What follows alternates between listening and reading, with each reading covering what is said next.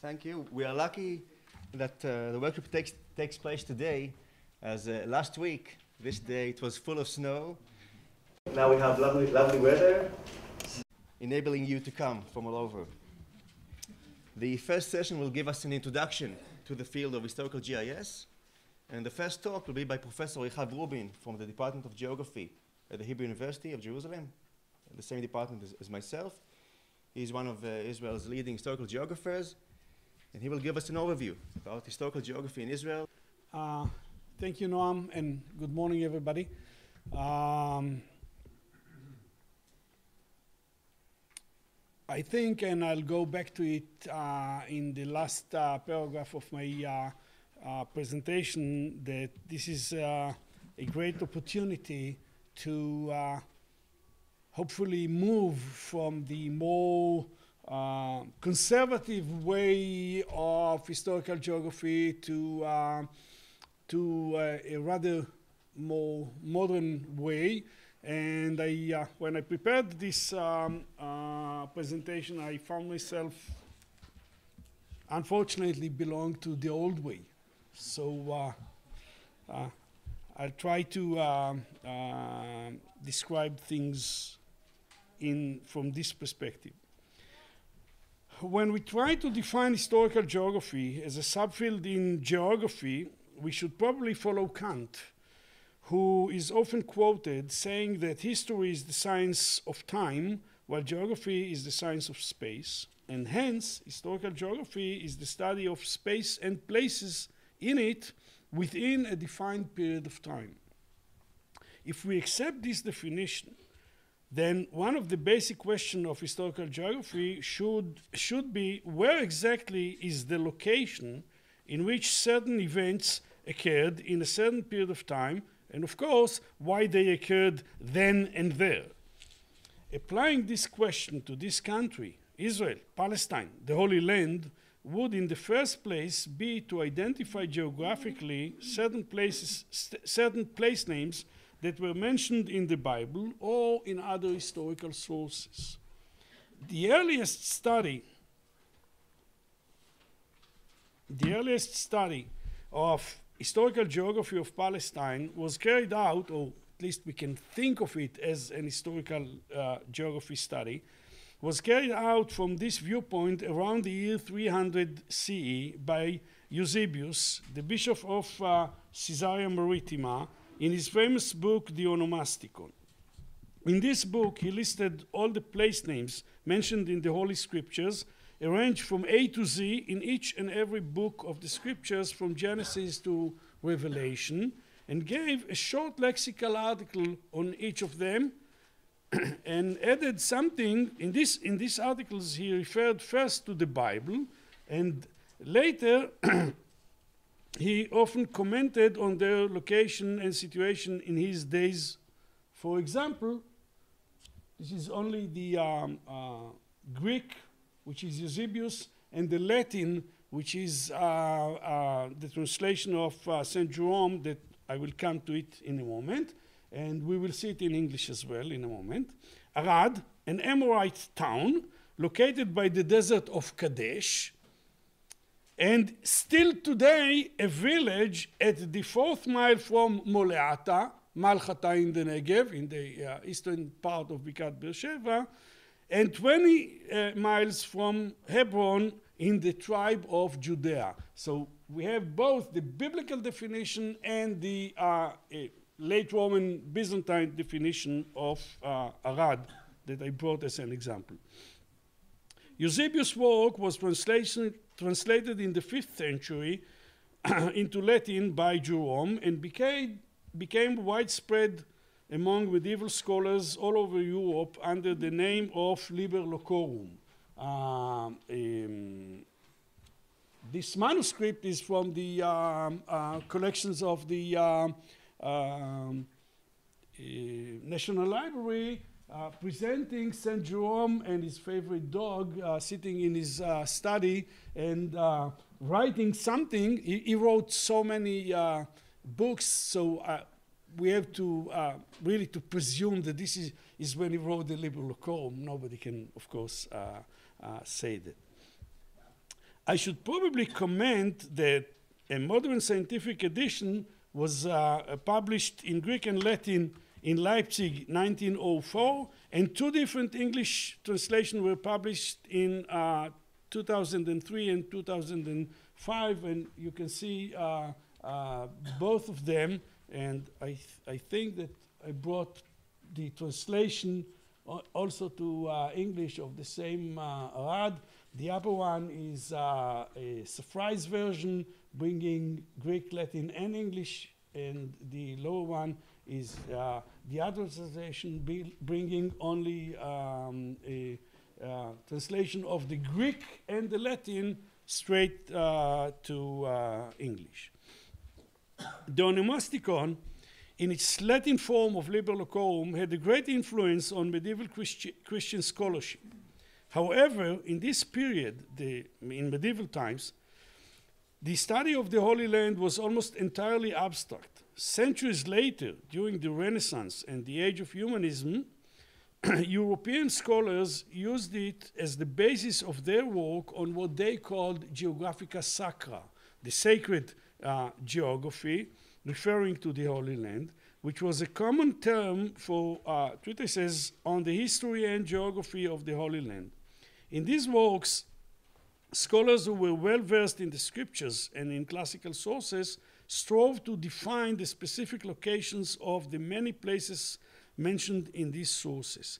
We can refer, for example, to uh, my favorite is uh, Christian uh, van Adrichem, who in, 19, who in 1590 published a large book about the Holy Land called Theatrum Terrae Sanctae et Biblicorum Historiorum. he arranged in his book from A to Z, this time from Asher to Zabulun, and listed the place names in each tribe also from A to Z.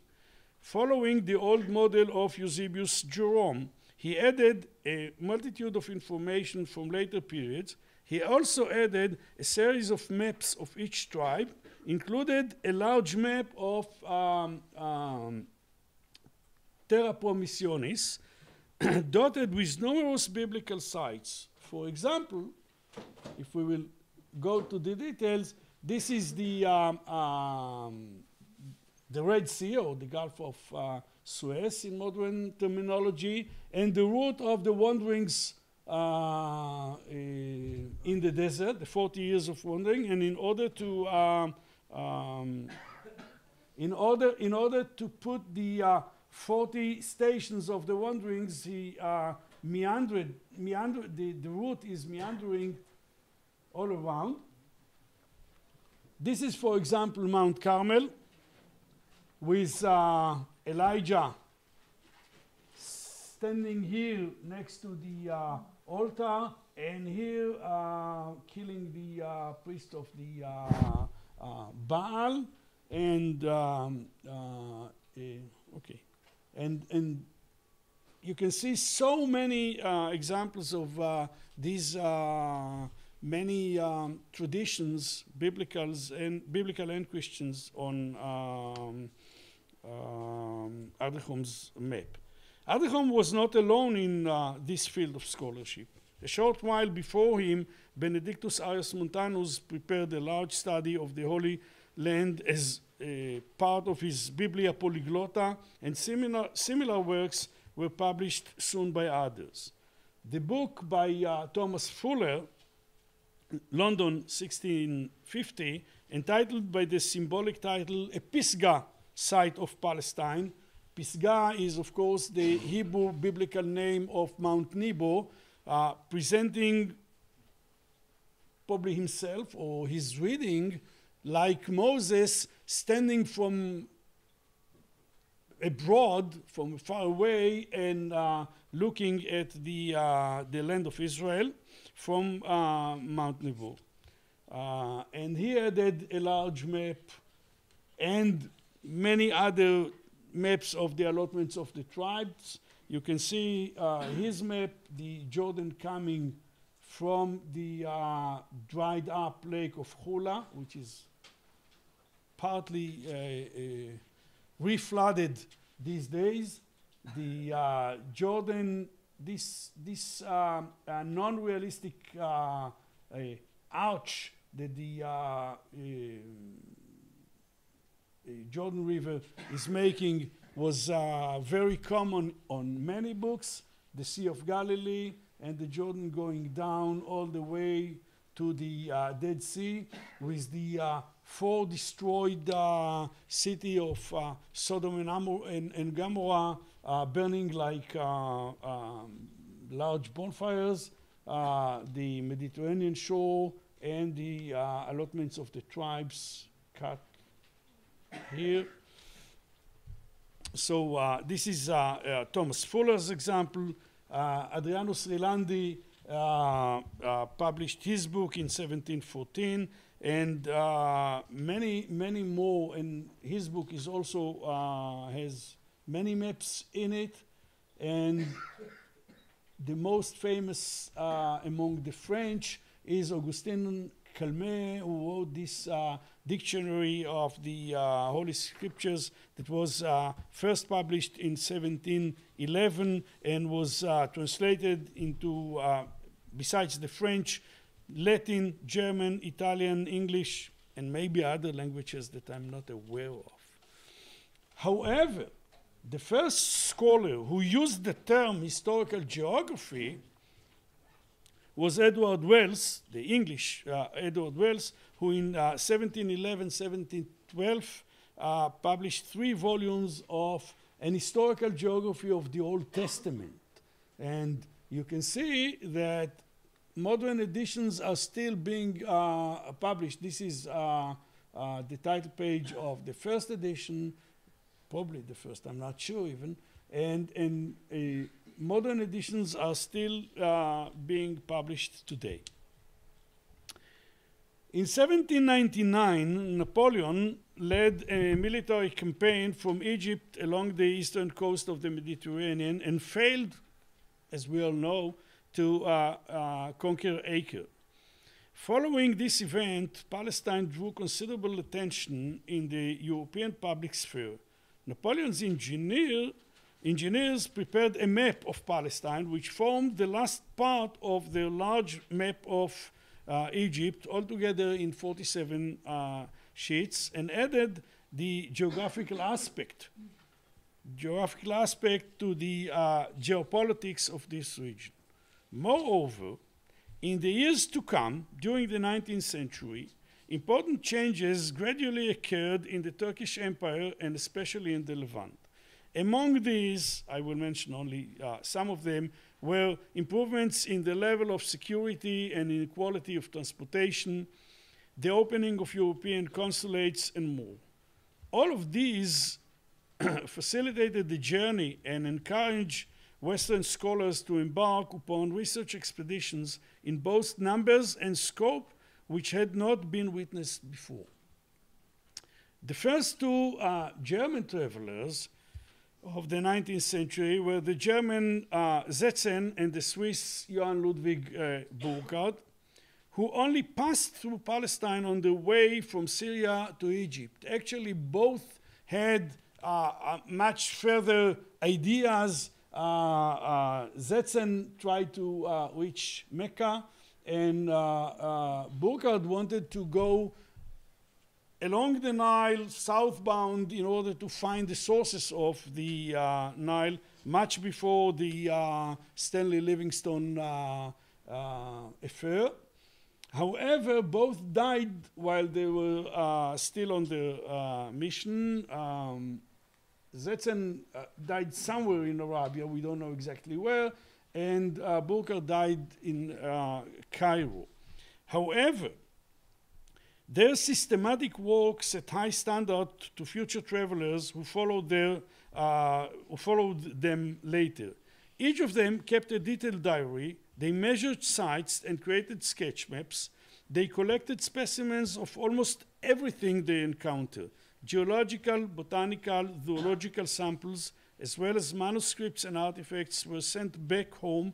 And thus, although both had died while still on their mission, their achievements were published later by uh, others.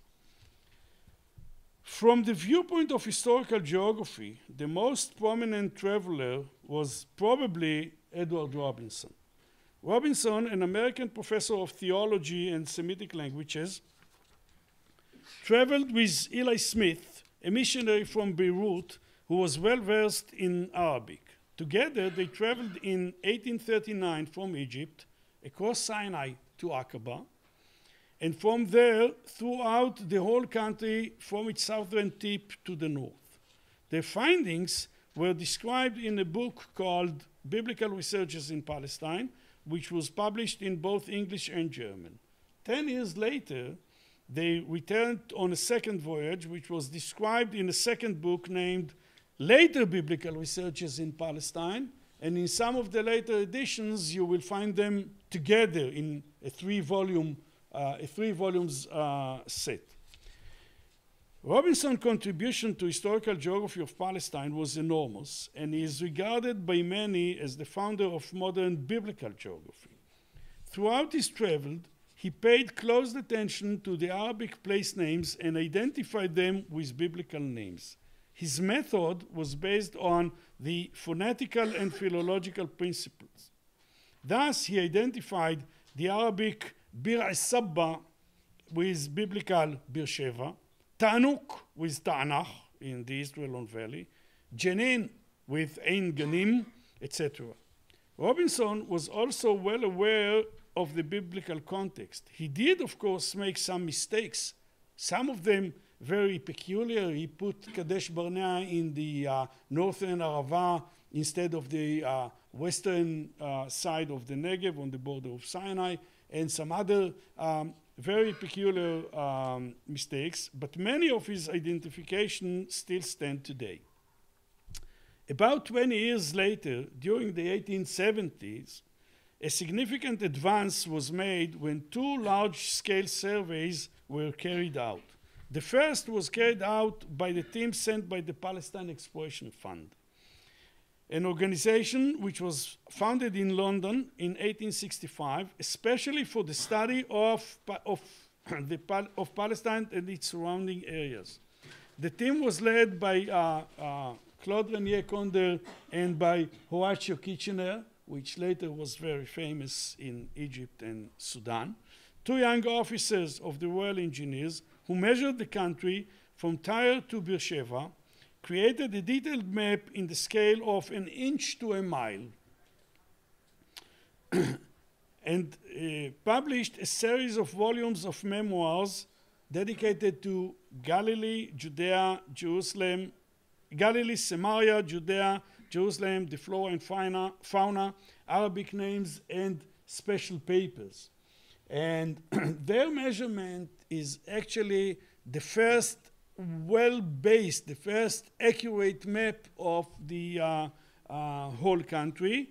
And in uh, these series of volumes, a lot of information about settlement villages, archaeology, um, epigraphy, and whatever your politics and whatever you can think of is, is available.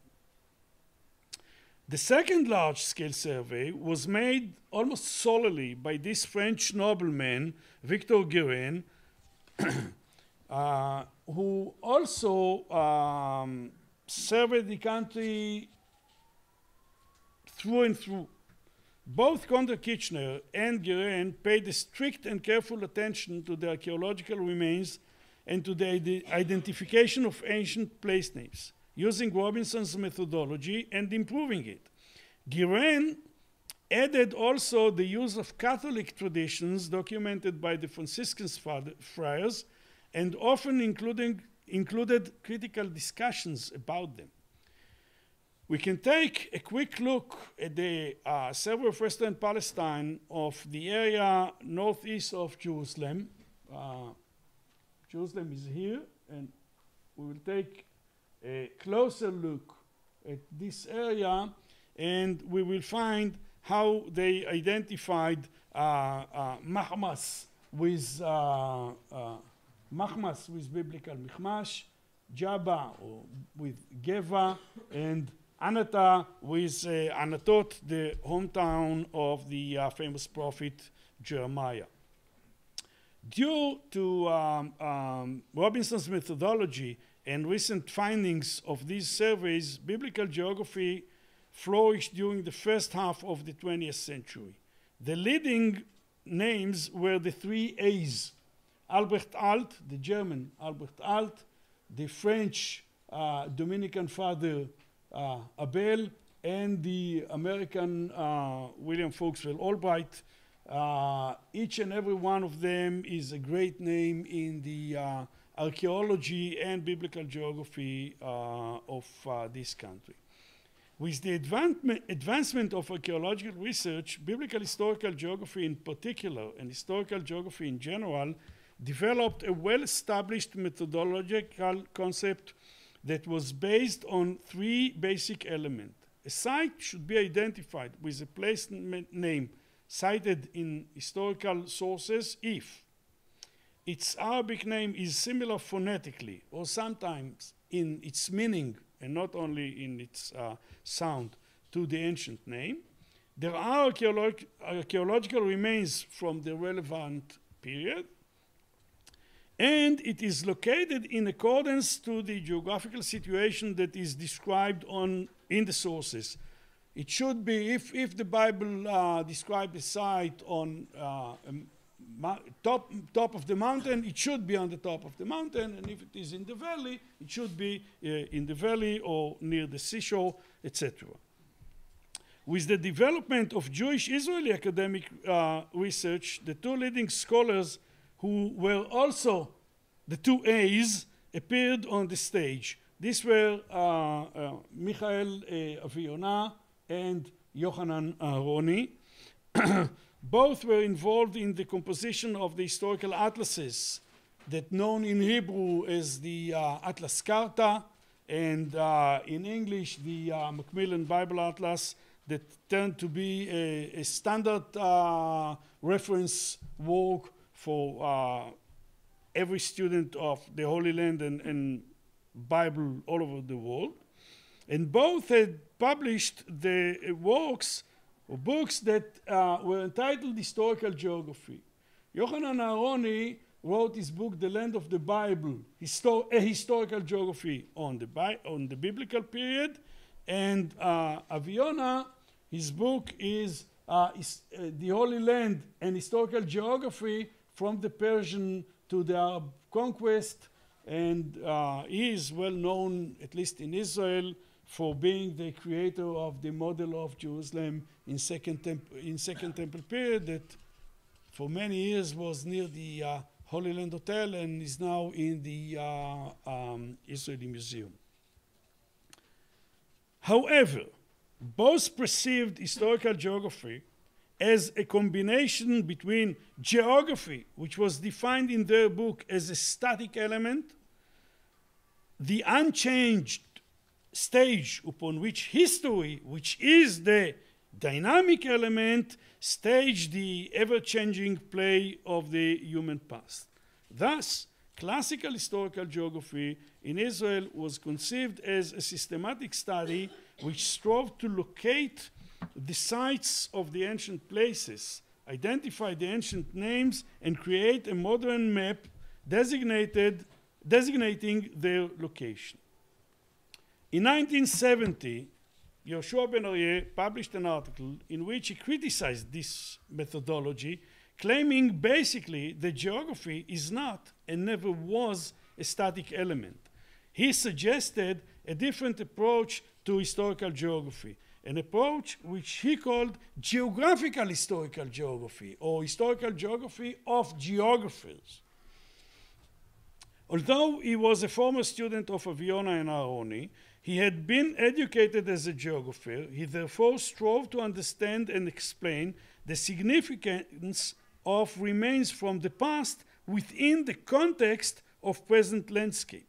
He started with the Bet Guvrin caves and then uh, the Sea of Galilee and many more. And not necessarily within archaeological context. He soon abandoned, he soon broadened his scope of the research to the reconstruction of past periods and places, to the analysis of geographical issues as transportation, settlement, and population in the past and more. And he himself uh, dedicated much of his, res- his research to um, uh, the 19th century and later to the uh, 20th century, to the British Mandate period. In order to do so, he borrowed from methodologies of, of the British Clifford Darby, the American Carl Sauer, Andrew Clark, and many others. Ben Aryeh was not only a scholar but also an academic leader, and he led a, a large group of students, many of them, including me, if I may, uh, turned to be scholars in Israeli University. Ben Aryeh's new methodological approach, which focused on the study of geographical elements in past periods in historical geography, was thus adopted and developed in Israel. The new and growing group uh, has been working for many years side by side with the group of the archaeological historical uh, geographers, and uh, who, which also continue uh, to uh, produce important works. Both of these groups continue to work using a common title, historical geography, yet going in quite different directions. Some of the works that historical geographers from Ben Aryeh's school published dealt with smaller or with specific type of settlement, such as the works of Ran Aaronsohn, who is sitting there, and Yossi Ben-Artzi on Moshavot. Some worked on medium scale, like uh, Kark work on uh, Jaffa and Jerusalem. Yet others worked on a regional basis and covered the scope of several hundred years, like my, mine in about the uh, ancient uh, uh, Negev towns. Most of the research was uh, conducted examine, examining a cross section during a certain period, although the vertical diachronic section is considered, of course, as, as an accepted approach as well. Most of the research that was done so far in this group was carried out, as I said in, my, in the beginning, by conservative methods, archival studies, field surveys, analysis of old maps and documents, air photographs, etc. I think that we are more than ready for a new generation of scholars and studies which will adopt new methodolo methodologies, HGIS being one of them, probably a leading one between them, which will instill new energy in our group. I was theref therefore glad to accept Noam Levin's invitation uh, to give this paper, and I'm looking forward to uh, gaining new insights in this uh, workshop. Thank you. I'm pleased to invite Professor uh, Ian Gregory, he's Professor of Digital Humanities in Lancaster University, the UK. He wrote uh, several textbooks about historical GIS, which you may know, and he's one of the leading persons in the UK in, the, in this approach. Thank you very much uh, for that. Uh, thank you for inviting me. This looks like it's going to be a really interesting uh, meeting, a really interesting workshop. So, um, what I'm going to do in this talk uh, is give a fairly, um, fairly technically based overview about what GIS is and what I think it has to offer to history, study of history, and perhaps uh, to the humanities more generally. And I suspect David Bodenhamer afterwards is going to come at the same kind of issues, but much more from a humanities-based approach rather than the technical, uh, the technical approach that I'm going to give. So when we're thinking about uh, GIS and what it has to offer to history, there's uh, probably two different ways that we can approach the question. We can approach it from, if you like, a bottom-up approach, which um, thinks about what the what the technology is and how it how it models the world and how perhaps these can be applied to the study of history. And we can think at it much more from a uh, top-down approach, which asks the question about what does this have to offer uh, to, to history and to the humanities more generally. And I'm going to try and uh, give a quick run through both of those uh, in, this, in this talk. Um, I'm going to introduce quite a lot of the technical jargon as well, which, uh, if you're familiar with with GIS, you may already uh, already know. But if you're not, I hope will be helpful. But at the same time, I'm going to try not to be too technical about things. So, starting with the bottom-up approach, uh, the technology-based approach. Uh, if we're going to think about what GIS is, geographical information systems are, then the first thing we really have to think about is what is geographical information.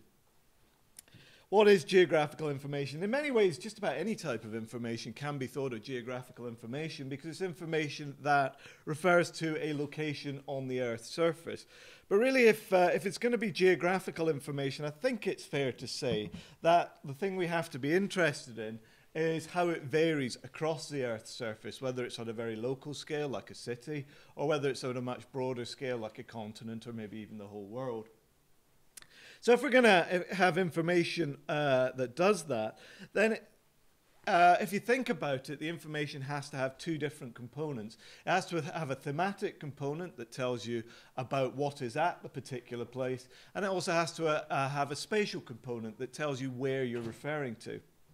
So a good, uh, a good example of a type of data that does that is census data. Census data, if you think about it, splits the, the country or whatever it's interested in into uh, administrative areas of one form or another, districts, par pa uh, parishes, municipalities, counties, whatever it may be. Uh, which have precisely defined boundaries, and then it counts the number of people within those boundaries. So you're able to see how the number of people in one area compares to the number of people in the next with the next, and so on. It's fairly, uh, in some ways, a fairly obvious form of geographical information. Hospitals admissions data, say we're interested in mortality or morbidity patterns in the past. Hospitals admissions data may also be a slightly less obvious form of uh, geographical information. Uh, if you have more than one hospital, you know where those hospitals are. So uh, you're then able to say how the admissions uh, are perhaps the numbers of deaths, number of uh, people with, with certain types of illnesses, uh, how the different admissions at different hospitals give you an insight into how disease patterns or mortality patterns varied across the city or the country that you're interested in. Another example might be relief data, data on heights which come from contours. The contours join lines of equal heights, so uh, where the contours run is the spatial side, and the thematic side is simply how high these, uh, these places are. Uh, transport networks are another example uh, where the transport networks run and perhaps information on the type of road, the flow of traffic down it, those sorts of things would give you your thematic side. Those four are, if you like, the, the fairly traditional forms of geographical information. If we're interested in history, or interested in the humanities, then uh, we also need to include uh, perhaps more complicated, more difficult uh, types of sources as well. I'll be saying a little bit about these later. Uh, so most humanities sources uh, are actually based around texts. Um, and text can also be thought of as geographical information because if the texts have information about specific places, so they have place names in it, then those places, those place names are giving you information about uh, the, th the spatial side, and what they're saying about those places gives you information about the thematic side. Similarly, and lastly, um, a collection of photographs or a collection of paintings of buildings might also be uh, geographical information. If we know where those photographs were taken either from or of, that gives you a spatial side, and the photographs or paintings themselves gives you a thematic side. So it's this link between both having the thematic side and the spatial side that uh, helps us to define geographical information. So a geographical information system is simply a a software tool um, that uh, allows us to uh, allows us to model information in that uh, in that type of format. Three ways of thinking about it. The the simplest most basic is perhaps as a type of software. Uh, it's a type of software that has all the functionality of a database management system, so something like Microsoft Access or even something as basic as Excel. But it also has, it adds the functionality to manipulate the spatial component.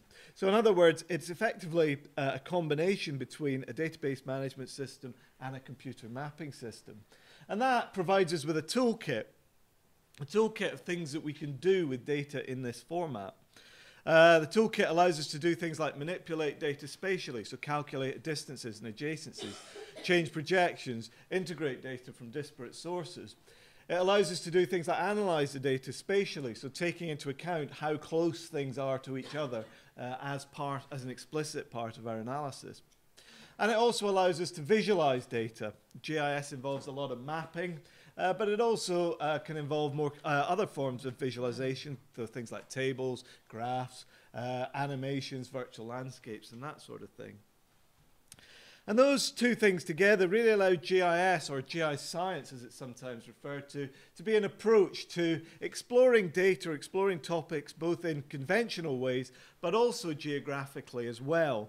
And it, to doing, doing that's kind of a challenge because what you're doing is taking a, a, technology that was devised very much in the earth sciences, in the military, and in areas like that, um, and applying that to the, to, to the study of history.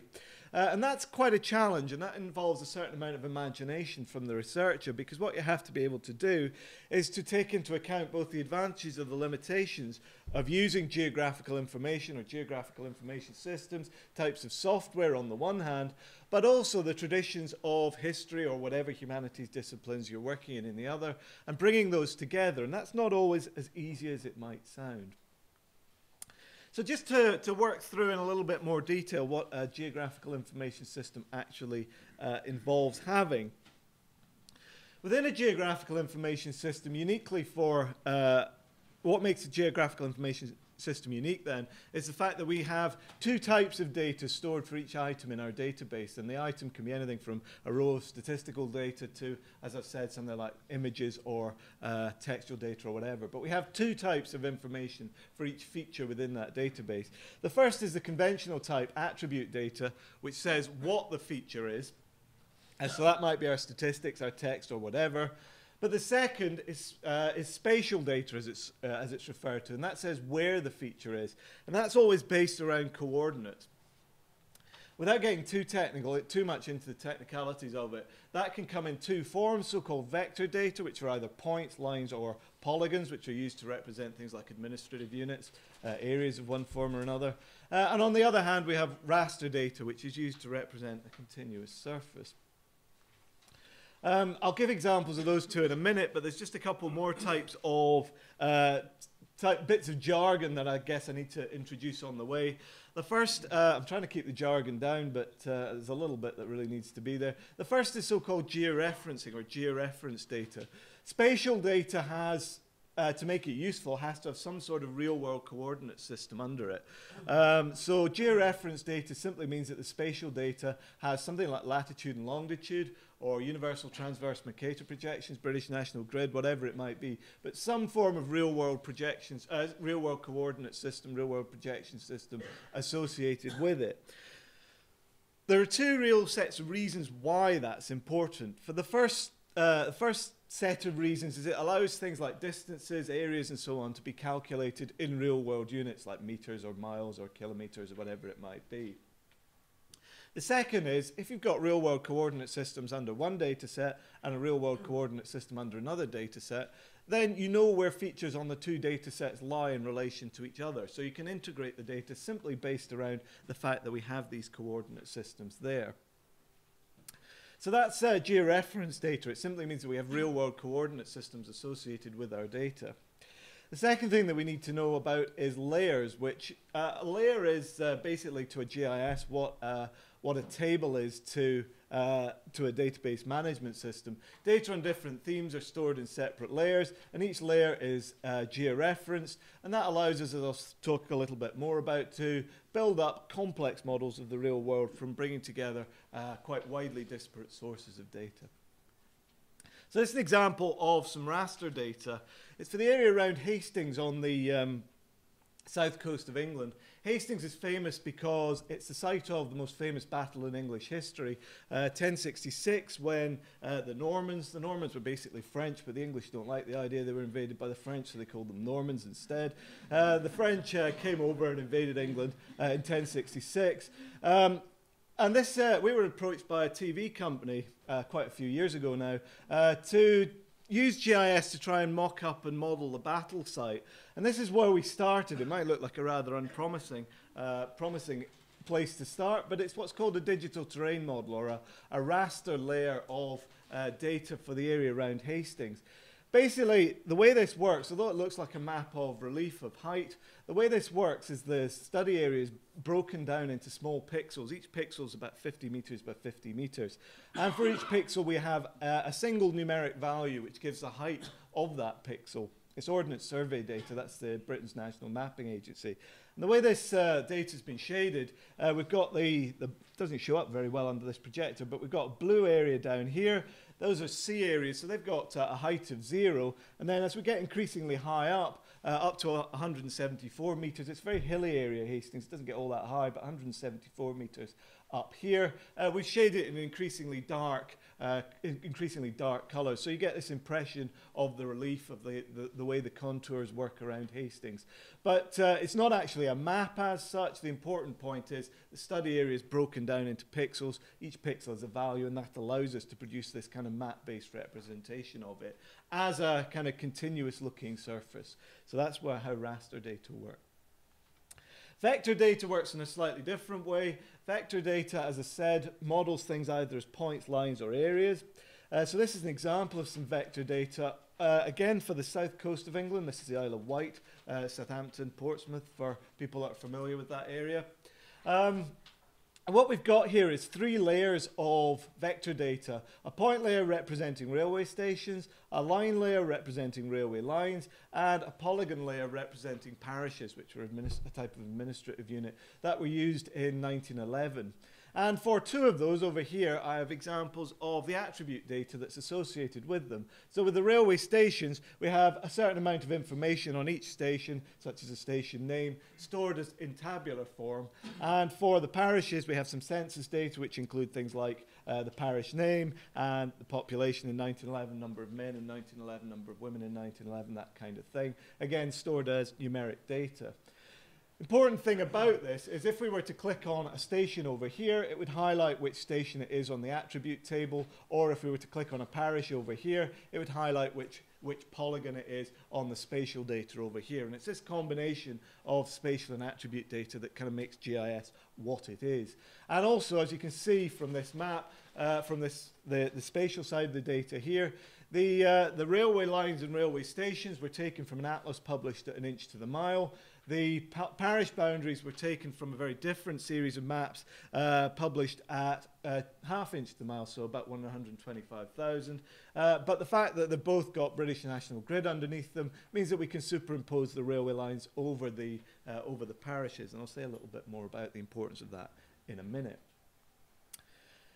So the fact that we've got both attribute data and spatial data allows us to, to query GIS data in two different ways. We can either query it through the attributes and return the results uh, through a map-based form, or we can query it spatially by clicking on a map and return the, uh, the, spatial, the, the attribute data associated with it. So this is an example of this. This is uh, lung disease in England and Wales in the 1860s. We had some data from uh, the so-called Registrar General's report. The Registrar General was interested in mortality patterns. Uh, and he published them using what are called registration districts, which are these administrative units you can see outlined here. Uh, and we had some data for those on lung disease through the 1860s uh, for men aged 45 to 64. That's the second half of their working lives. And what we've done here is an attribute query, which has just selected out the area with the highest rates of death from lung disease at that time. And the, they're, they're the ones that are shaded in black. And the pattern you can see is really quite striking if you know the, if you know the geography of Britain at that time. Uh, you've got the high rates associated with the urban and industrial centres. So this is South Lancashire, Liverpool, Manchester, and into West Yorkshire. Uh, very heavy industrial area at that time. This is the South Wales coalfield. This is the area around Birmingham and the potteries. Again, heavy industrial areas. This is East London in particular being highlighted here. So we're getting a pattern uh, emerging very quickly, showing that high rates of lung disease among men at this age uh, do seem to be associated with urban and industrial areas. But the other thing you notice as well is there's some exceptions to this. This area up here in the northeast was heavily industrial as well, but doesn't seem to have particularly high rates. And there are some exceptions to it. This area here, this area here, and this area down here that are quite rural. So as well as this immediate pattern that we might expect, we also have a pattern that perhaps we wouldn't expect. We have some outliers from that pattern. And we can follow those up perhaps by doing a spatial query, clicking on uh, an example of that, and that'll return the underlying data of this place here. So that's uh, a place called Alston with Garrigill, and it actually gives you the mortality rate uh, from, the, from the underlying data. Um, we can also bring spatial and attribute data queries together in a slightly more complicated way. So say going back to our example of railways, um, uh, railways and parishes the, on the south coast of England, we're interested in what railway stations lay within the parish of Portsmouth uh, in 1911. So the way we go about doing that is first of all we do uh, an attribute query to select out just parish equals Portsmouth and that's highlighted this area here, this single polygon here and also this row of data. And then we do a spatial query to select out the points that lie within that particular, uh, that particular parish, that particular polygon. And we can see that there are uh, a total of eight records returned and it lists the, the names of the parish, of the stations that were in that. And you can see that rather confusingly, two uh, there, were this, there were actually two stations with the same name, Koshub, at that date, and two, they didn't even bother with names, they just called them halts uh, and left it at that. But uh, key point about this is this ability to bring data from different sources together and ask queries that perhaps you wouldn't be able to do in any other way. I just don't think you'd be able to say what stations lay within this parish or perhaps what stations lay within areas with a, above a certain population density, these kinds of things in any other way. When you're using GIS, you get a lot of maps that look a bit like this. Um, this is a so-called choropleth map, very widely used in historical geography before GIS came along and very easy to produce uh, when you're doing GIS. But if you think about it, a map like this is in many ways uh, simply uh, one way of thinking about it is, is, is, that it's a map, but another way is to think about it is it's actually a, a response to a database query. Because what it's done is said, it's this lung disease map again. It's selected out all of the parishes with um, a mortality rate of above 58, and it shaded them in purple. Then it selected out all of the parishes with mortality rates between 38 and 58, shaded them red, and so on and so forth. Uh, and from there, we just get a bit more detail of what we had earlier, of high rates being found, particularly urban and industrial. And what we can see from this is much more that uh, lower rates are very much associated with the more rural parts of the country. But it's as much a database query as it is a map, and that's quite an important point to think about when you're uh, working with GIS. So that's uh, a very quick run through some of the uh, some of the technical aspects of GIS. Now I want to just switch quite quickly to some of the ways in which those that functionality assists us in doing research within history and perhaps within the humanities more generally. I think what that structure gives is four uh, what that technical platform gives is four areas of, uh, of advantage uh, that GIS has to offer to the humanities. It structures a database, uh, it allows you to integrate data, it allows you to visualize data, and it allows you to conduct spatial analysis. And I'll just briefly give examples of all four of those.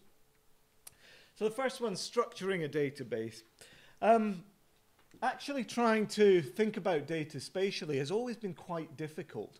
Uh, if you think about the old days where perhaps you'd have a map in a book, well, typically the map was very small. Sometimes it was stuck in as a foldout at the back of the book. Very hard to move from uh, the information that's within the, the, the, the more conventional book-based form and the map itself. And if you think about it from a library perspective, the fact that you've got, uh, typically you've got libraries and map libraries are actually separate collections, then bringing together uh, spatial data and, uh, or spatial ways of thinking about the world and, map, uh, and more conventional ways of thinking about the world is quite difficult.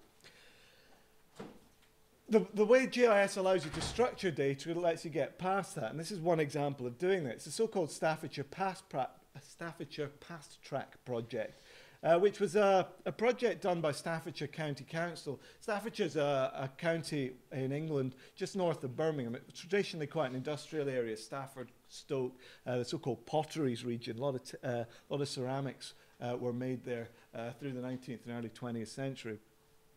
And they had a large database of images from Staffordshire's past, about 7,000 photographs, 3,000 images of artwork, uh, and various videos and audio files as well. And they wanted to put them up on a website for uh, the general public in particular to be able to access. So, as well as the kind of conventional ways of searching it through things like themes, uh, through things like keyword searches, and so on, they also wanted you to approach it from a map based way. And in some ways, it's slightly dated now, but I think it still gives a good idea of how this, uh, this helps you. So, if you approach it through their, the map based part of their website, to start with, they just give you a very simple outline map of the, the county of Staffordshire. Uh, you can zoom in on this map. So this is the, uh, the area around Stafford, the county town uh, of Staffordshire. It's a modern map, so you can see the modern road layout. Um, and you'll also see that superimposed over the map, there are uh, one kilometre grid squares shaded from dark reds down to unshaded. Uh, and they illustrate how many artifacts are found within each particular square. So say you can see there's a lot centered around Stafford itself from this. So say we zoom in hard on the center of Stafford. This is a map of what Stafford looks like now. It's been quite extensively redeveloped in the 60s and 70s. Big roads been push, pushed in, which wasn't there, uh, which wasn't there uh, previously. So they also include a historical map to show you what it was like before the redevelopments took place. Uh, this would be uh, an, an ordnance survey map from the late 19th century. But then critically, what they'll also allow you to do is explore the artifacts that were found in that area at that time. So these are uh, a list of the images associated with uh, particular themes uh, where you've got thumbnail images and metadata from that. And then if you click on one of those, it'll give you a bit more information about it. So this is a, an image of a, a, fire in a glue factory that took place uh, in 1901. Uh, and this is an image of uh, a medal awarded to the fire brigade as a result of some of the events that took place around that fire. So you're able to, to, to query the database through conventional ways of going about it. So for instance, I'm interested in the fire brigade, but also through map-based ways. So I'm interested in what happened in Stafford. Maybe I'm interested in what happened near Stafford. I'm interested in what happened in other towns. These kind of things. And you're able to bring these together to structure the data and query the data in quite in ways which traditional technologies, traditional database technologies wouldn't allow you to do.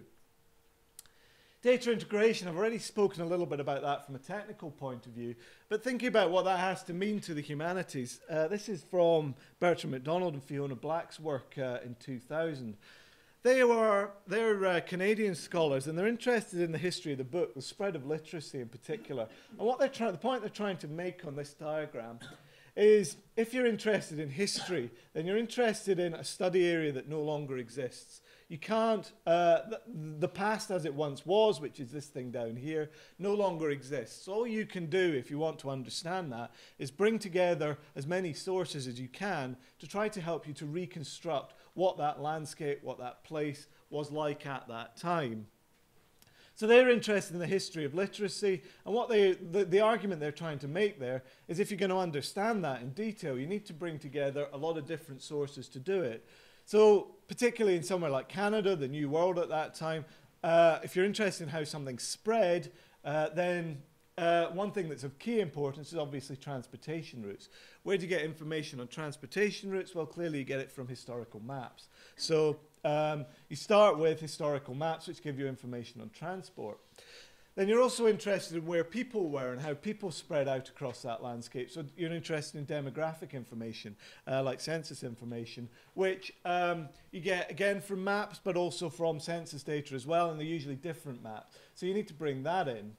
Uh, if you're interested then more specifically in book production, in bookstores, in libraries and other things from the history of the books, then these are likely to be available in things like trade directories uh, and, uh, and other sources like that, which will typically have place names associated with that. And from place names, you can start to look, uh, associate those with explicit locations. And bringing all those together through location, you can start to build up your picture of what the world was like at some point in the past.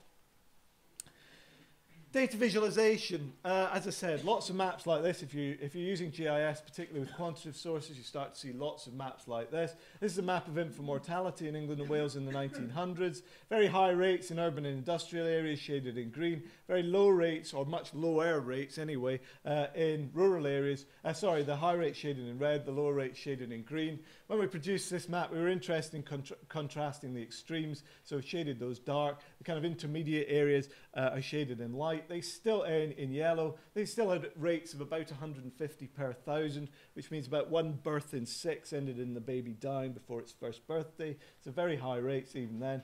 Uh, we're interested in this because it started to decline afterwards. But you get a very clear pattern of what's going on from that sort of map or at least you think you do. But in some ways, these maps are quite misleading because an awful lot of the people obviously lived in, in the urban areas and the rural areas were much more sparsely populated. So this impression uh, over here tries to work around that by distorting areas according to their population size. And you can see that the areas with very high rates actually had an awful lot of the people living in it. So an awful lot more people were affected by these very high rates and far fewer people were affected by these low rates than the choropleth map over here makes you think. GIS isn't just about choropleth maps, it's also about uh, other types of visualizations, virtual landscapes, fly-throughs, that sort of thing. This takes us back to, to Hastings, to the Battle of Hastings, uh, where we started with that raster uh, image that I showed you earlier, and we're able to transform that into what's called a digital terrain model, which gives an impression of the heights of the landscapes. It tries to give a 3D impression of what the landscape uh, is and was like. And we've draped a modern aerial photograph over that, in part because this road here uh, dates back to Roman times, and one theory behind the battle was that uh, King William's, ar- the, the Duke of Normandy's army, who went on to become King William's, were down in the valley here, and they wanted to get up to this road. Um, which is up here, so they could break out of the area where they'd landed. Uh, and this was King Harold's army up here. So we're able to visualize this landscape in new ways. We're able to, I um, haven't got an impression of it here, but you're actually able to fly around it and look at it from different perspectives, and so on and so forth. So just to finish off, uh, spatial analysis uh, goes beyond mapping to try to actually use map-based data explicitly within uh, our analysis. This takes us back to two choropleth maps of infant mortality, the 1900s one uh, and the 1850s one. And we were particularly interested in this, in whether there was a north-south divide or a core periphery divide in England and Wales. So uh, the theory being that areas around London, uh, there was quite a pronounced core periphery divide where areas around London were traditionally very wealthy. Uh, and as you moved away from London, particularly to the north, uh, areas became increasingly impoverished. And we wondered how that played out in terms of infant mortality, because there's a link, quite well-defined link between uh, high mortality rates and poverty.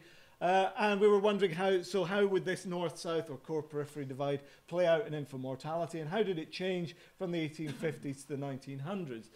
If you simply look at two maps like that, it's very hard to answer that. Uh, because it's really not very clear. You can see there have been some changes in infant mortality and, how, uh, and the patterns of it over that time period, but it's not easy to, to spot how, uh, how that, uh, either how those changed uh, how the changes played out, or how those related to a core periphery divide. So what these two maps try and do is just smooth that pattern out based on distance from London. Idea being that uh, if you have a core periphery divide, then London should, the core should be good, and as you move away from London, you should get progressively worse. And actually, you can see by the 1900s, that's pretty much true. London's got quite in, uh, average rates. In fact, that's a bit misleading. It's got some of the best and some of the worst. But once we move away from London, we have some of the best rates. It gets increasingly worse until we get to about here, where uh, you get to some of the worst areas. In the 1850s, you don't get anything like as pronounced a pattern. So what's kind of interesting about that is as transport improved with the development of the railways over this period, you're actually getting a more pronounced core periphery divide playing out in health effects than, than, uh, than we had previously. Uh, and we can also, uh, saying that uh, we can also graph that, so it's not just about maps. This is simply showing how uh, between the 1850s and the 1900s, those buffers, as we say, some got better and some got worse. And basically, near London got better, and as we moved further away from London, uh, things got progressively, relatively at least, worse over time. Uh, so we have a, a growing north-south divide, and using the, manipulating the spatial data within GIS allows us to, to demonstrate that. So to try and sum that up, Um, the advantages of GIS is it allows us to explore both the ge geographical and thematic components of our data to stress, and that allows us to stress the, uh, the geographical aspects of our research questions. It allows handling large volumes of data and integrating it from different forms of uh, dis disparate sources uh, to go on and produce a wide variety of different forms of visualization and analysis, which explicitly uh, incorporates location. You do have to, however, think about the limitations of GIS as well. Getting data into GIS is expensive and time consuming. The software isn't always easy to use and wasn't designed with historical research uh, in mind, so you have to work around that. And GIS is very good at showing spatial relationships, but it doesn't really generally provide explanations for those relationships. So you still need, although it's good at uh, posing questions, actually answering those questions tends to uh, rely on us falling back on traditional scholarship. And the origins of it, as I've kind of uh, implied, come very much from the earth sciences and computer sciences. So you do have to think carefully about whether they're appropriate for uh, humanities styles of research as well. Thank you very much. Thank you very much, Ian. And during the coffee break, you'll have time to approach him, and we'll also have we'll also hear Ian talking more later on today. So thanks again, and uh, we'll move to our, the last lecture in the first session by Professor David Bodenhamer. Professor David Bodenhamer is the head of the Polis Center at Indiana University, Purdue University in India, Indianapolis, leading many people, author of uh, many books, articles, and we will hear David talking about modern GIS. Okay. Well, it's a pleasure to be here, although it's always a bit daunting to follow Ian Gregory, who is an expert not only in GIS, but in so many, in the application of so many different things. In fact, I sometimes feel like the last speaker had an Irish way, that everything's been said, but not everyone said it. So, uh, and yes, that is the name of my university. If, and here's a trivia question for you, that if you're at a party and someone wants to know what's the world's longest name for a university, you know the answer now.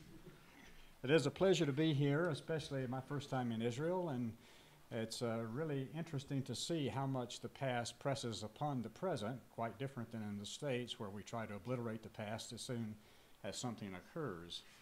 But what I want to do here today is to uh, take what Ian has said and suggest that GIS is essential, uh, is, essential for uh, the study of the past, but it's not sufficient.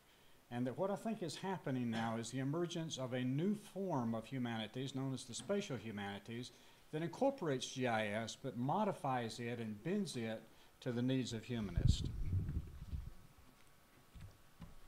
Well, clearly we're in, we're in a new world. We all recognize that.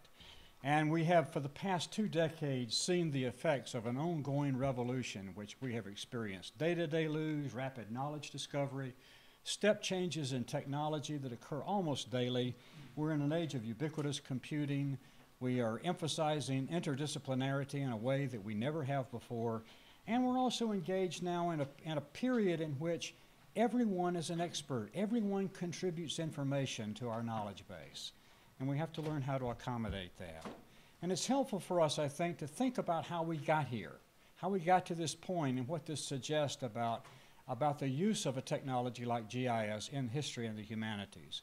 We remember that we come out of a 19th century tradition that, in which history and the humanities sought to embrace some of the methods of the sciences, sought to embrace rationalism and empiricism, and this, in the 20th century, matures into specialized disciplines, uh, professionalization, a cult of objectivity, and the importance of experts. And of course, in the, over the past 30 and 40 years, we have been engaged in an epistemological shift, a shift in the way in which we construct knowledge and understand the construction of knowledge.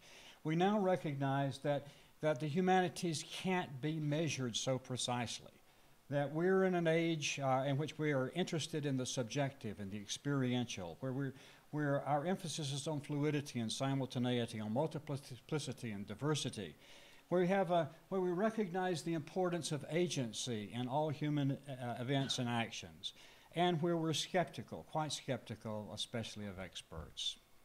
Well, at the same time this is occurring, we've been in, we have been in, uh, uh uh, faced with a spatial turn. In fact, that's the, the terminology or the phrase that is often used to describe the importance, the increasing importance of our recognition of space and the influence of space on human events.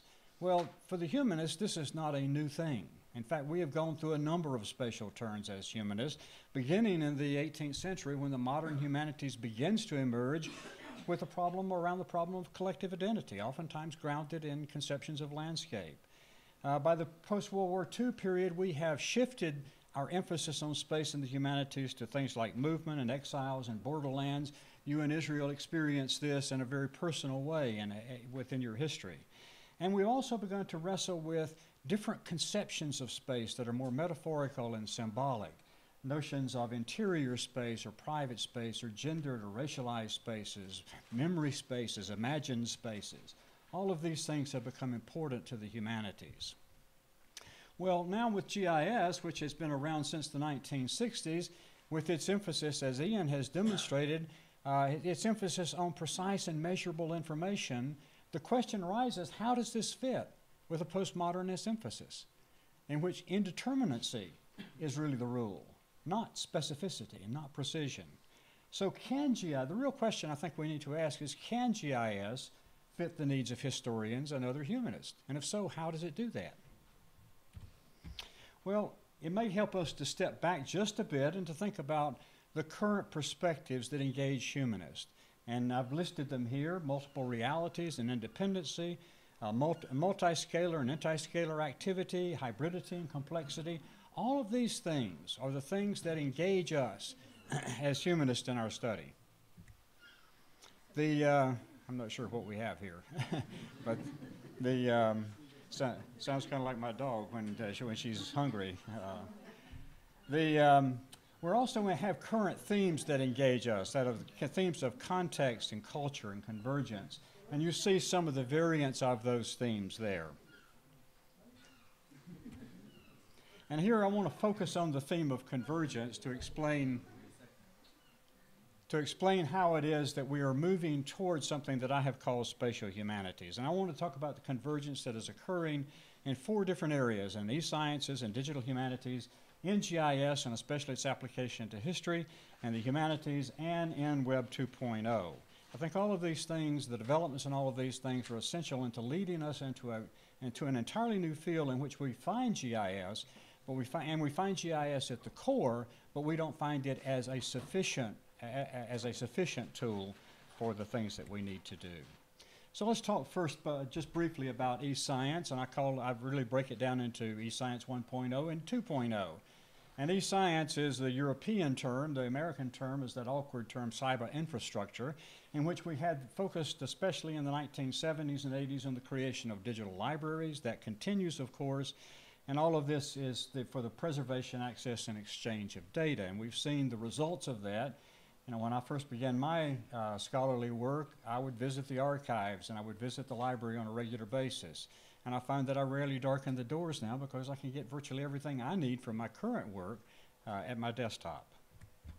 Now, of course, eScience means grid-based collaboration, and you can see the various ways in which this collaboration is occurring, both in terms of technical collaboration and procedural, and scholarly, as well as the ICT and discipline and domain collaborations that we experience daily in our work. In the digital humanities, the other of these areas in which we find uh, an, a, a, maturity and uh, that is going to lead to this convergence, we have a particular expression of this e-science in, in the creation of digital databases and scholarly editions and new tools for humanists, new centers and new positions. I don't know how it is in Israel, but in American universities, uh, the hottest uh, the, field for humanists to be in is, are, are, is digital history or digital humanities. In fact, we at my university are now hiring another person in digital humanities, and we find that that uh, the three people that we have chosen to invite to campus have four other interviews each, and that's unheard of in, in the humanities these days. Um, and the results of this have been pretty, pretty remarkable. We've seen a number of scholarly editions and databases that come out of this. Some of them uh, seem to me quite central, and others really are quite uh, perhaps esoteric and appealing to uh, only a few scholars, such as the Medieval Crop Yields database. I can't imagine many people using that one. Um, but also some very popular projects in the U.S. There was a project known as the Valley of the Shadow Project that that provided access uh, to, especially to public school students as well as to scholars, uh, on a vast array of information about the Civil War, looking at two contiguous counties, one in Virginia and one in Pennsylvania. uh, during the five-year period that constituted the Civil War. And it allowed, there were 10 million users of this system by the time it finally was archived and placed offline. The, uh, the spatial turn in GIS has also begun to affect and lead to this uh, convergence into the spatial humanities. We know that there's been this increased attention to space and spatiality beginning in the 1960s, and we've seen the new technologies that support this spatial turn, especially the emergence of GIS. But as you might imagine, and it first occurs within geography, there is a critique of GIS that says that GIS re requires a precision that the world does not give us. It requires that data be measurable and it be measured and me remeasured and remeasured in, in, precisely the same way so that we can then take it and turn it into a map, so that we can analyze it spatially. Well, of course, for the humanists will say, as well as did those people who, who come out of the social critique of GIS, say that that's not the way the world operates. The world is filled with ambiguity, it's filled with contradiction, it's filled with uncertainty. How does GIS handle this? And out of this comes GI science, which is an attempt to keep the scientific rigor of geographic information systems, but at the same time make it accommodate the kind of uncertainty and imprecision that we know exist in daily life. Web 2.0 is the last of these, uh, uh, these four things that I think are converging into the spatial humanities, and we're all familiar with. We live with the web uh, constantly now. I mean, it, it's such a part of our life, and I think the thing that is most interesting about it is, is its ubiquity and the fact that it is now mobile. But it keeps us connected in ways that we never have been before, and it provides a collaborative and open framework in which we work. And this has changed us in, a, in, a, in some remarkable ways. And here are just some of the platforms on which we are now working continually, oftentimes without even knowing it, oftentimes without even thinking about it consciously.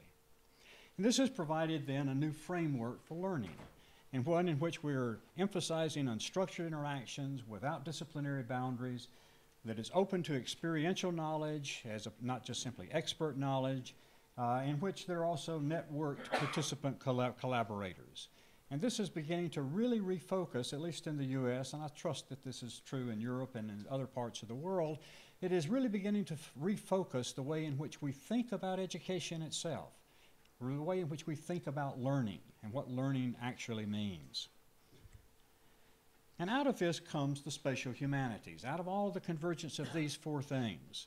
It begins, a spatial turn in the humanities actually begins in the 1990s. It doesn't begin in the 1960s as it does with geography. It begins in the 1990s, and we recognized as humanists that space offers us the opportunity, at least geographic space, for some really important things, things that are important to us. It offers us the opportunity for the integration of data from disparate sources, as Ian demonstrated. It offers us the ability to visualize this information oftentimes in the form of a map, but sometimes beyond that. And it offers us ways in which to analyze the information that we have not taken seriously before. And it allows us to keep, to, to, it allows us in this analysis to keep moving from space to place because it is place that interests uh, the humanist more, not just abstract space.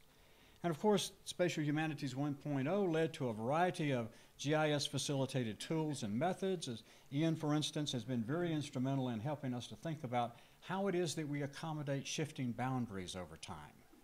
I mean, after all, data are collected in these administrative units, and that's what we have to work with oftentimes. But these boundaries are changing continually. And so how do we know that what, we're, what is being reflected by the data represents, in fact, the same place that we're interested in studying? And of course, out of this comes a whole variety of new kinds of scholarship uh, in history and archaeology and cultural studies. And it is here where historical GIS emerges. We have rediscovered through this process the power of the maps. And Richard White, who is an important U.S. historian who uh, actually was a pioneer in the field of spatial history, expresses it well, I think. And that is that relationships jump out at us on a map, where oftentimes we can't even describe them in a narrative without losing the reader, actually, without even losing ourselves sometimes. The other part of this uh, Spatial Humanities 1.0 has been the creation of strategic spatial data sets. Uh, a lot of digitization has taken place of, say, of national censuses and other sorts of things that are important for the study of, of the geographic expression of events. Uh, we've seen a number of international collaborations, the Electronic Cultural Atlas Initiative, of which Ian and I, that's how we first met. Uh, there have been a variety of uh, UK, EU, and uh, national initiatives in the US. There have been a, the emergence of expert networks, especially in the European Union. And there have been a whole variety of national historical GIS projects. In fact, in virtually uh, every week I hear of a new national GIS that is, uh, that is beginning or, or reaching some important milestone. And here are just some examples. A good example of uh, an international collaboration that has occurred around cultural atlases has been the Electronic Cultural Atlas Initiative that comes out of University of California at Berkeley, in which there are about 8,800 universities affiliated worldwide. There are the National Historical GISs in Germany and, and the US and China represented here. There is a notion of geo-rectified historical maps that are available, especially on the web, and many of you may know of the David Rumsey collection. Uh, he's a, a a private uh, philanthropist who became interested in map collecting and decided he wanted to make his maps freely available, historical maps freely available, and you can download any of his maps already geo-rectified and use them uh, for free. Uh, and there have been a variety of uh, publications and projects that come out of this early expression of HGIS. the Salem Witchcraft Trials, I'll show you that the website of that in a minute. Some major HGIS projects at Stanford and in Philadelphia, the Holocaust Project, which you'll hear from Anne Knowles about this afternoon, and a variety of major publications and conferences in HGIS and the spatial humanities. And here is one of the early uh, attempts to take uh, uh, GIS data and apply it to a well-known historical problem. And here is just uh, Ben Ray from the University of Virginia does this, and he begins to locate the accusers and the accused in the Salem witchcraft trials of the, of the 1690s and began to see what the cor spatial correspondence was between them, the temporal correspondence. And it begins to illustrate that, in fact, many of these things, because of the spatial proximity, were probably as, as much disputes over land and the kind of neighborly things as they were. That's what prompted some of the spatial, uh, some of the witchcraft accusations. Spatial History Project at Stanford has been very important in shaping this field. But the critique of historical GIS begins to grow, especially in the late 1990s and the early part of the 21st century. And it really centers around the same sort of critique that geographers made about GIS in the 1970s and 1980s that led to the social theoretical critique of GIS. And that is that what happens here is mostly mapping. This is really spatial primitives, putting a point on a map and calling it, or, or, or giving a polygon. And the second critique is it requires a great deal of technical expertise to be able to use this information effectively and use these technologies effectively. Uh, effectively. These are lengthy projects. They're even the most, what seems to be the most simple historical problem, when you try to move it into a GIS environment, becomes very difficult. And it becomes difficult to sustain this. And the sustaining is not simply your interest in the project, it's the collaboration that it requires. And in fact, that collaboration is, is becomes a major barrier, as we'll see in a moment. Um, the, the, what's happening here, is, the critique says, is that we're, we're, we're talking about space and not place, and that humanists are interested in place. That is the particular expression, expression of space and time. Uh, and then where is time in all of this? In fact, GIS doesn't handle time very well. So all of this leads to an unfortunate conclusion for those of us who think that this technology has much to offer the humanities, and that is not many of our colleagues are embracing it. It has a very scanty uptake by humanists, and we have to ask why. Because humanists are always grappling with place. They're always grappling with the expression of space in a particular time and a particular location. So why aren't they using this technology that allows us to manipulate space effectively?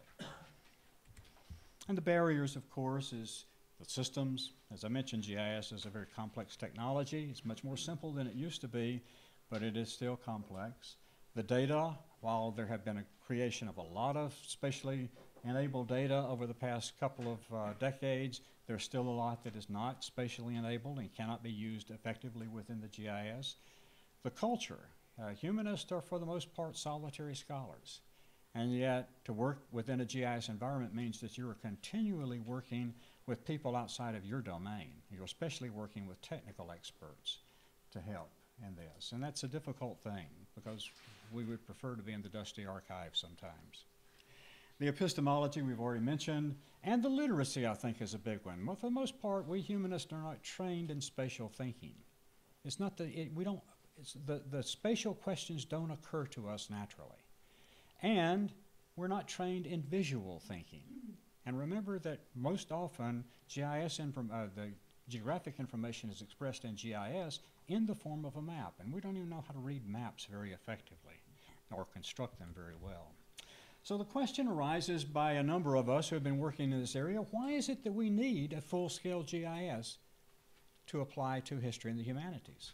Perhaps what we need is a Pareto GIS, and here I'll borrow the term from a colleague and friend of mine, who says that uh, he was struck by the fact that the Italian economist uh, Pareto in the 1920s, when looking at the landholding patterns of Italy over centuries, noticed that 80% of the land was owned by 20% of the people, and that ratio held. It didn't matter when he looked at this. When he looked at this, and so he suggested that there was maybe a universal principle at stake here. That uh, we do. Uh, in fact, my wife says that that's true of my wardrobe. That I wear. Uh, I wear 20% of my clothes 80% of the time. Um, but you know, we don't really need the full analytical functionality of ArcGIS to accomplish what it is that we need. So we have to reboot. We have to move beyond Esri, move beyond the standard GIS. And how do we make it truly multimodal? How do we make it open it to virtual research environments or immersive environments and create, create collaborative spaces out of it? And how do we develop a, a new epistemology around it, one that recognizes that the work we're interested in is nonlinear, it's fluid, and it's reflexive. And so here is where I think we come to spatial humanities 2.0. That is, an, an explicit recognition of the reciprocal influence of geographic and constructed space, not just simply geographic space, but the way that we in our lives construct our spaces. These are oftentimes metaphorical spaces on culture and society. How does it embrace all of the spatial technologies and not simply GIS, but bend them to our needs and not ask us to accommodate our needs to their demands?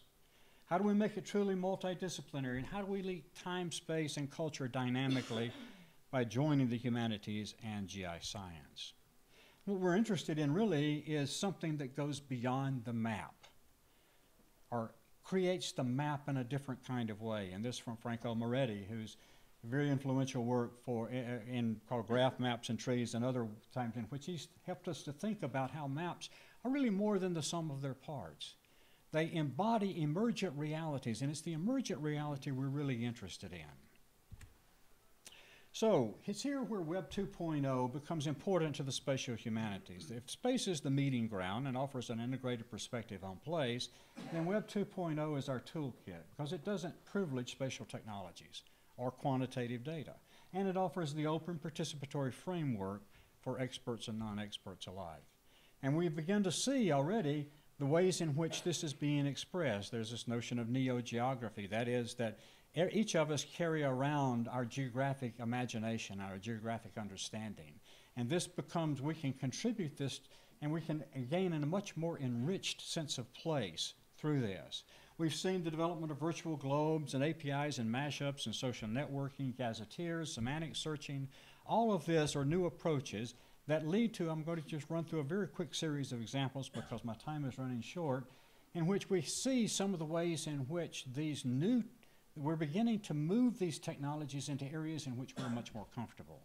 Here's a project by a colleague of mine at Purdue University, a nearby uh, state university, called Visible Past, in which he became interested in how it was that you could use the mobile web to uh, create, in this instance, the landing beach at Normandy.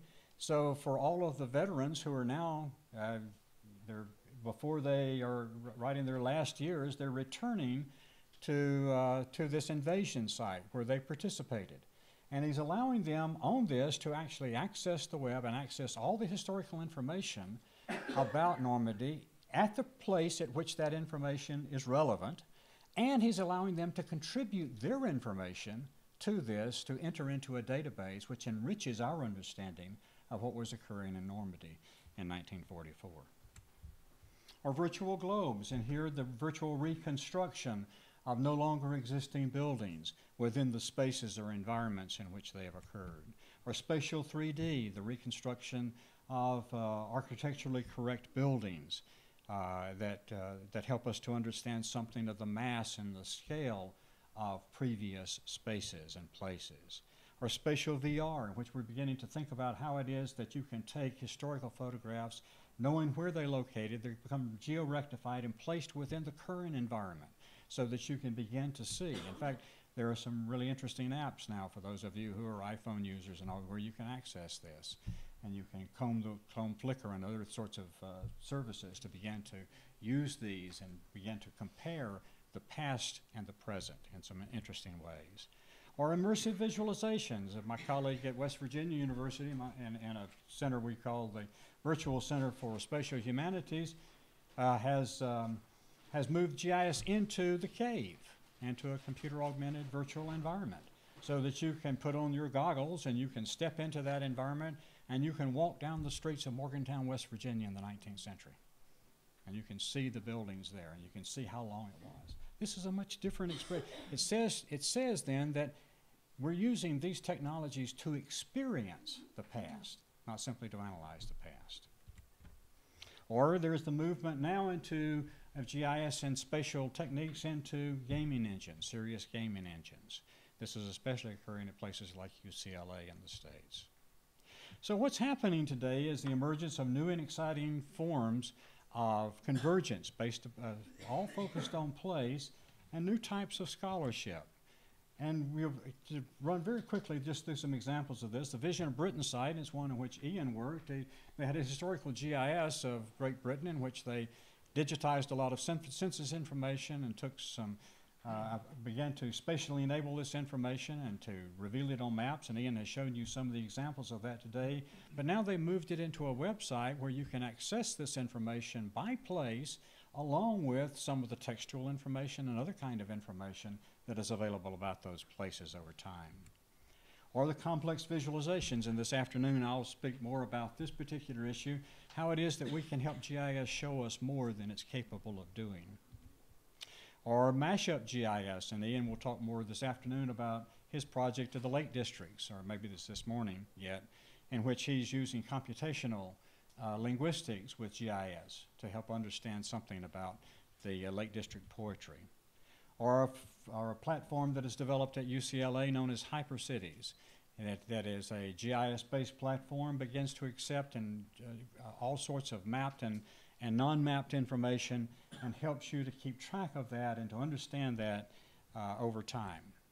And of course, the new scholarship, and quite obviously I prominently feature in my book, The Spatial Humanities, uh, one I think everybody should have in their library.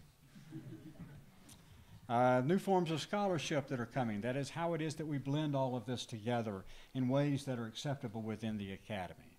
New kinds of geovisualizations and interactive analysis. These are coming out of the Stanford Spatial History Project, or space-time networks, and exploratory spatial data analysis. And I'll say some more about that this afternoon because we've begun to implement that in some of our projects notions of spatial complexity that we weren't able to grapple with before, and new forms of mapping itself, such as the sound maps that, are, that have been pioneered in Great Britain, where we not only where we can begin to access sound by location and understand something about the context in which things are occurring. New types of public history, where uh, you can walk through time by taking your sat nav uh, device and usually on your iPhone or other smartphone device and, and simply use it to reveal the layers of time of, about the area that you're passing through and to access other kind of information to help you understand that.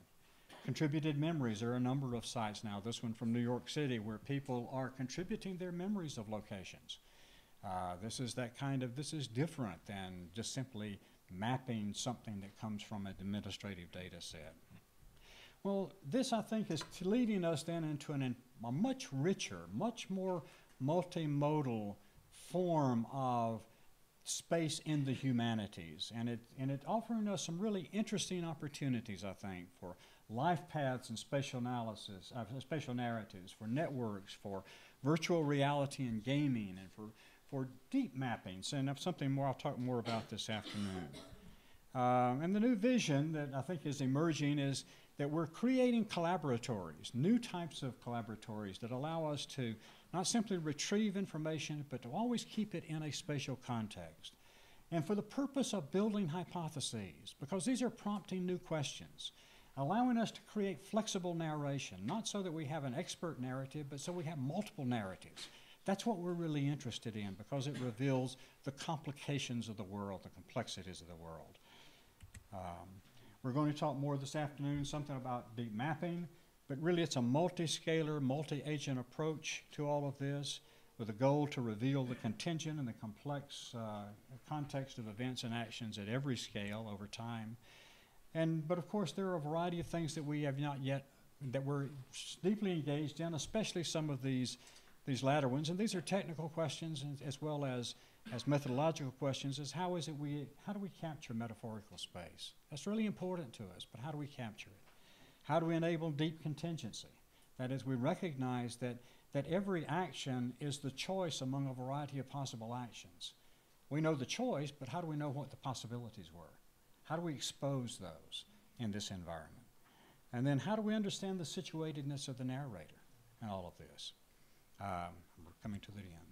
So what we're dealing with, I think, now in the spatial humanities is moving well beyond GIS into a unique postmodern form of scholarship where real and conceptual space acts as an integrating and an animating framework for our scholarship.